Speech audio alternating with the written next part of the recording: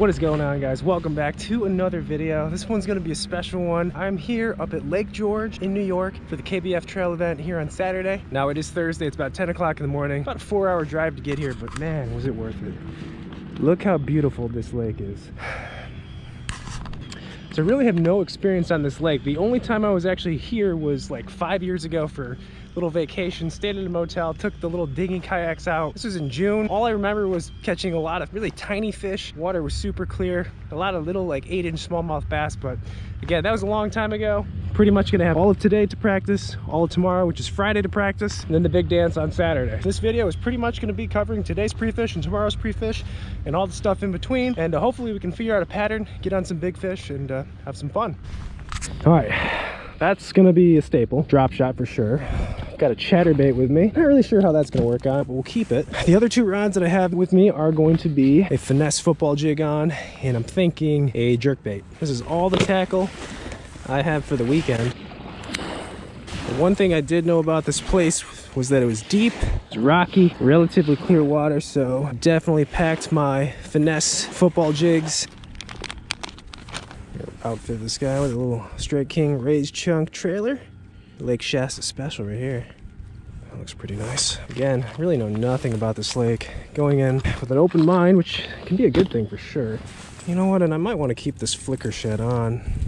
Huh, I'm debating between a flicker. You know what? We're gonna keep the flicker on. Good to go. I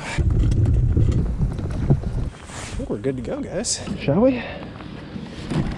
Let's do it. Man, super clear water.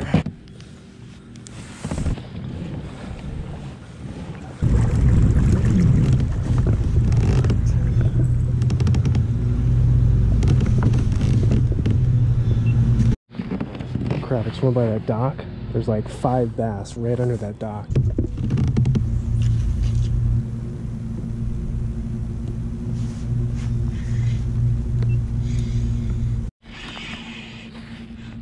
Whoa, there's a bunch of them under there.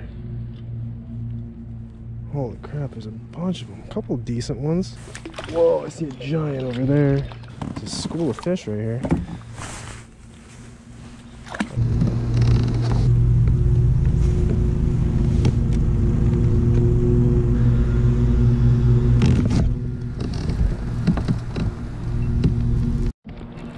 Oh, it's a good one. God, old Keitech M2 football jig. Not a huge one, but man, that ain't too bad at all. Keitech M2 football jig. We've been fishing for like 30 minutes. I'd take five of those on tournament day, without a doubt. That's awesome. Deep clear water, 50, 55 degree water temps, little finesse jig. I mean, it's just, uh, it's just when I see those conditions, it's like, this comes to mind now. Oh God. Another big one. That fish just mush mouthed it. Like you can't feel the bite. Oh my God, we're on good fish, guys. We're on a good bite right now. We are on a good bite. I think it's this jig, to be honest with you. Look at that one. It's another solid fish right there. I want to say that the jig will definitely get the better quality fish. It's a weird bite though. All the jig bites have been real subtle, like they're just picking it off the bottom. You know, it's not like a dunk.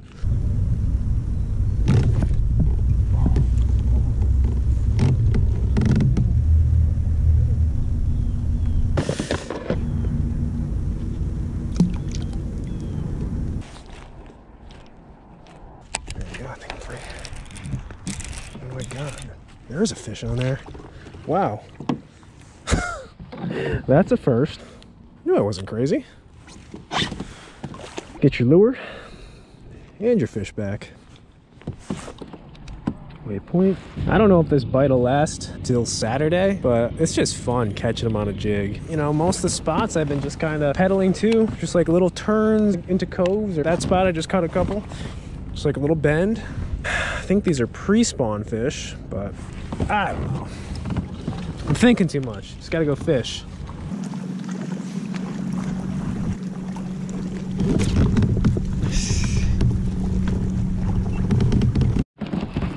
Again, I did not feel that bite at all. Another good largemouth. Weird, I really thought we'd be catching smallmouth. kind of wish today was a tournament, you know?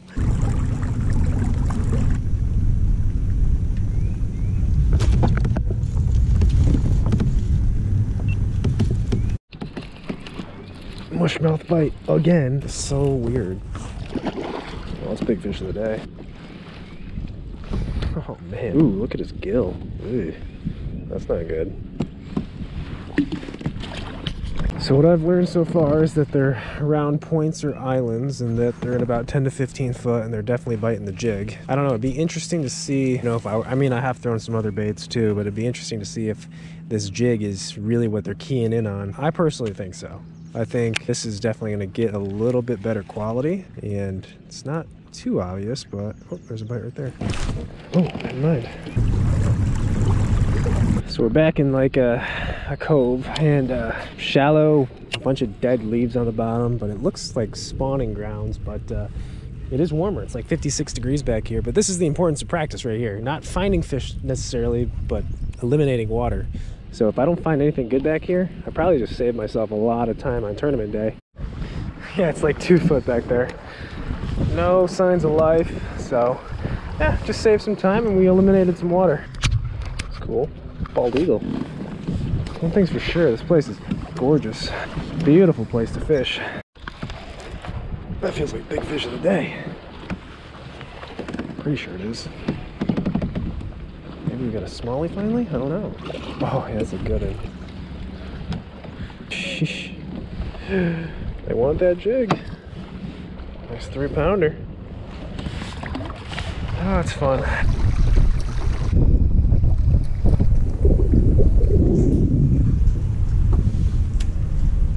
What the heck? Just lost like the cap to the reel or something.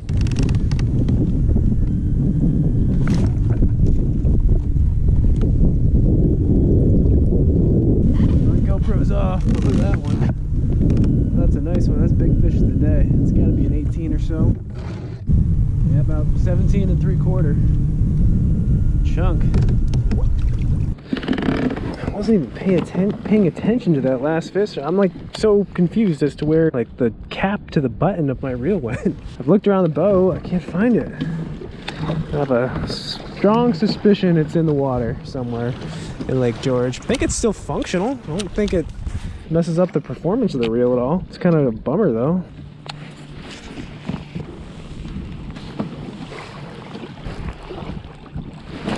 Oh man, right when it came out of the rocks. Yeah, it's okay actually. Yeah, it's smaller the more I look at them. I don't know. I'm like kind of lost as to where to start on tournament day. I mean, we got all tomorrow to pre-fish, but I mean, so far things are looking real good. We found so many spots. Tournament day, we just might have to spot jump all day. There we go. Maybe they're all around the side. Oh, that's a good one. I mean, I'm not sure. Like, what it's going to take to win this tournament. I mean, they're obviously good fish in here. Yeah, 15 inch or so. I just don't know. My worry is that someone's on like a giant school of smallmouth somewhere in here. Because usually big smallmouth schools can win a kayak tournament lengthwise pretty easy. Oh, oh we got a brown one. Not a big one, but it's a fish ton of fish below me. There's a fish. The drag was way too loose there. That's a good one. Oh yeah, that's a big one. A long one at least. Alright, I think we know they're around this island. I think we gotta leave here. Sore lipping all these fish. Let's let them rest. Okay guys, it's about 3.30. Yeah, pretty happy with that little pre-fish. I got an idea as to what the fish are doing, water temps, the lay of the land. So uh, I think I'm gonna call it a day. I gotta check into the lovely Howard Johnson, grab some food, rig up some stuff for tomorrow, try to figure out my reel situation.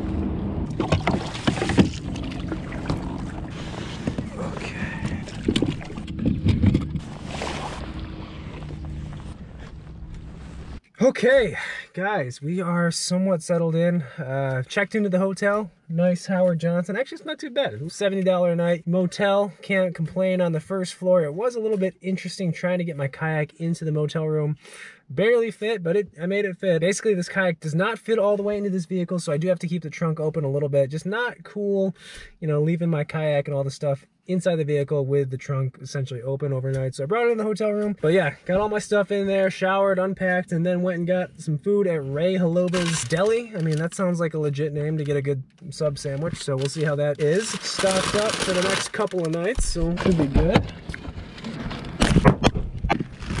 That's always good for the GoPro, just like throwing it on the ground.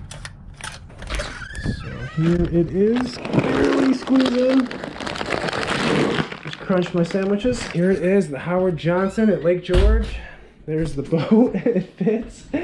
Uh, just actually before I left and went and got some food, just started uploading some footage. Six o'clock, so pretty much the rest of the night, gonna re-rig, gotta re-rig a few rods, some sort some tackle, probably work on some editing tonight and get an early bedtime and then we'll get up bright and early tomorrow morning for last day of pre-fish Friday for this KBF event at Lake George. But today was a good day. Today, obviously, you guys saw it. We were on that finesse jig bite. It was fun. It was a fun bite, and I did try at the end throwing some different stuff. The drop shot mainly, just to kind of see if I get some other bites. But I don't know. I think they were really just keying in on that jig. I could barely feel the bite. It would almost be like a heavy, heavy line when I'd feel it, and I think they were just sucking it off the bottom. Good day at pre-fish. Learned a lot about the lake. So tomorrow's another day. We'll see you guys bright and early tomorrow morning for the final day of pre-fish. No coffee maker here. Surprised me, so I went and grabbed some coffee because that is essential. But uh, a little rainy, probably gonna get going soon. Still gotta load up the boat. So as far as launching goes, yesterday we launched right here at Rogers Park. So fished all this stuff down here and all these points, all these islands had fish on them. Didn't really beat them up too hard. Then I fit, came back and fished around this island and there was a ton of fish on this side at the end of the day. Caught a couple good ones at this point, so I'm, I'm kind of torn. Uh, I think today we're going to launch from here, Vets Landing Park. I want to explore further north. For me, the pattern, if it holds true to the rest of the lake, they're going to be on islands, on points, in about 10 to 15 and even 20 foot of water and biting that jig. But look how many targets are over here. The only problem is I have to cross the lake. Now the weather doesn't look too bad, but it's going to be a south wind, and even a five to six mile an hour south wind through a skinny funneling lake through this can get cranking. So I'm not sure how I want to play that. the other thing I could do is fish along these docks over here in about 10 to 15 foot and see if there's a you know a reproducible pattern as well. I'm kind of torn. I don't know if i want to make my way across the lake first and just look around and then hopefully the wind isn't bad and get back by the time i'm done or if i just want to go up and down these docks and see if we can figure something else else out. I also didn't hit either of these targets. I didn't hit crown island and i didn't hit this you can barely see it, but there's a shoal out here.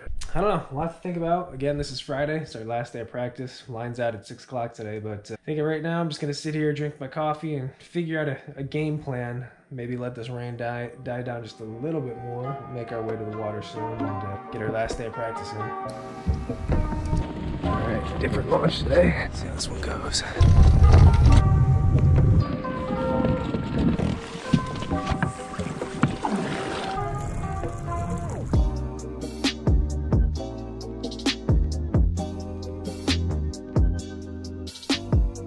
You know, that's really far. That point right there. A bunch of islands, but they just look so good. It's a far paddle, pedal, but I've said this a few times before. Alrighty, that's where I am. Lots of targets to reproduce our pattern. That is why we came here.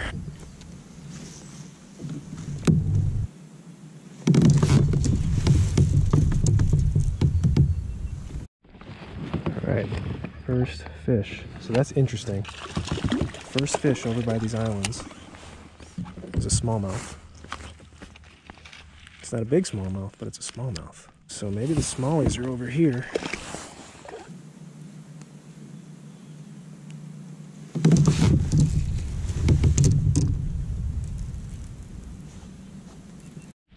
That feels like a big fish. Oh, it just shook me. Dang. I wanted to see what that was.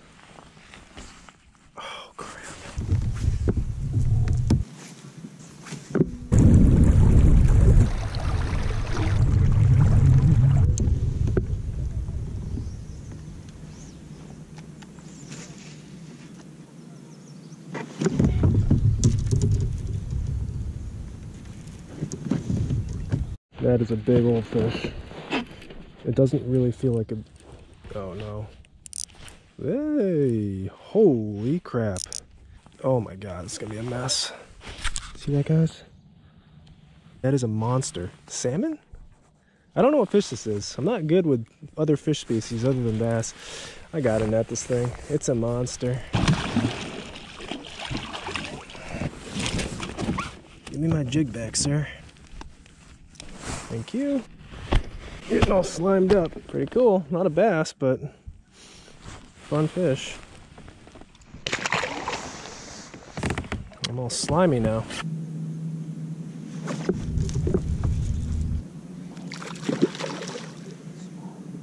Big old smallie. Big old smallie.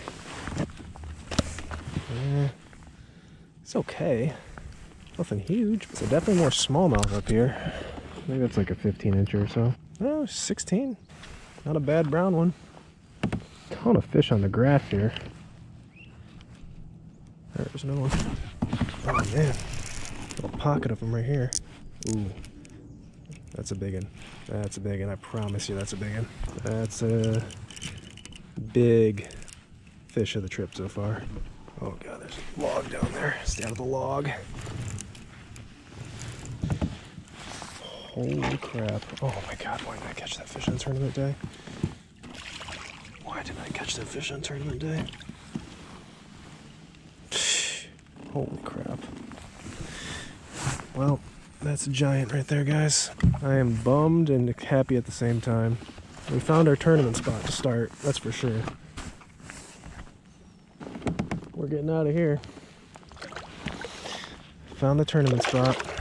Yeah, there's a ton of fish here. I mean, it's like the biggest point on the lake, so it's not a secret here. But I mean, wow, two bites there, a smallmouth and a largemouth. When they're mixed in like that, that's that's a good sign. You know, it's a good spot then.